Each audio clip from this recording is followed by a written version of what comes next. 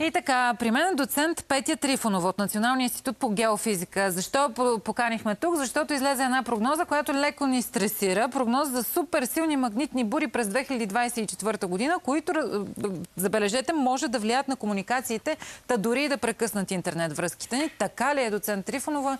А, и тук вече сте ни подготвили едни графики, които ще обясним какво ни показват те. Но първо, толкова страшна ли е прогнозата наистина и възможно ли е да се стига до такива последици? Ами не, прогнозата, която излезе в медиите, всъщност е комбинация от няколко наистина достоверни правдоподобни факти, които обаче са навързани по такъв начин, че водят до изопачаване на истината и до някакви такива Тоест, преекспонирана е прогнозата. Да, точно така. Аз не мисля да го обясним това в детайли. Това, което съм ви приготвила тук обаче, малко да си подложим така теоретично. да, разбира се, да. Само моля да е разбираемо. Е, разбира да. се как. Нали? Затова сме тук да, така. да разбираме какво си говорим. Значи, тук съм ви показала а, а, една графика на така наречените 11 годишни слънчеви цикли, защото всъщност а, в публикацията, която ще коментираме, това стои в основата. В момента ние се намираме в този последния 25-ти слънчев цикъл, който започна през декември 2019 година.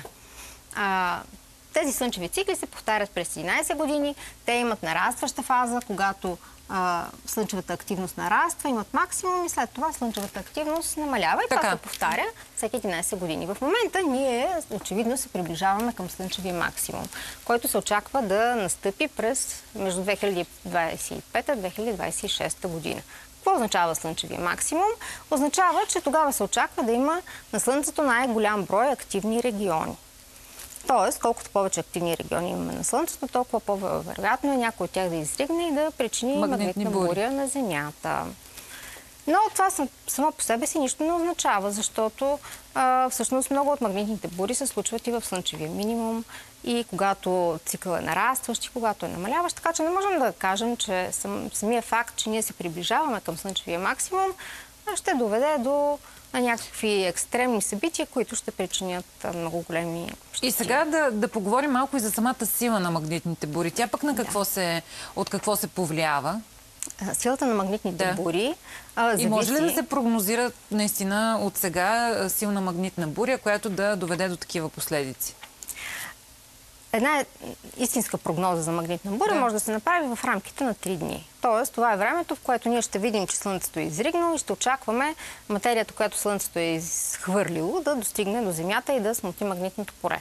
Всичко друго, извън тази тридневна прогноза, е просто хипотеза, която е с много малка а, вероятност и достоверност да се случи. Така че, според мен, нали, е не, съвсем не, неоправдано ние да говорим за това, че 2024 ни предстоят такива екстремни Чак такива събития. екстремни събития не ни чакат. Не ни чакат. До края на годината обаче магнитни бури, кога да очакваме да сме подготвени, да имаме едно на ум, защото да, знаем, че се отразяват и на физическото ни здраве.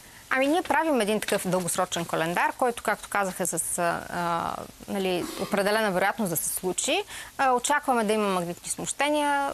Следващия понеделник и вторник, мисля, че са 18 и 19 Добре, ако декември. нещо не ни е както трябва, да знаем, че Да проверим дали има магнитна буря и да, да.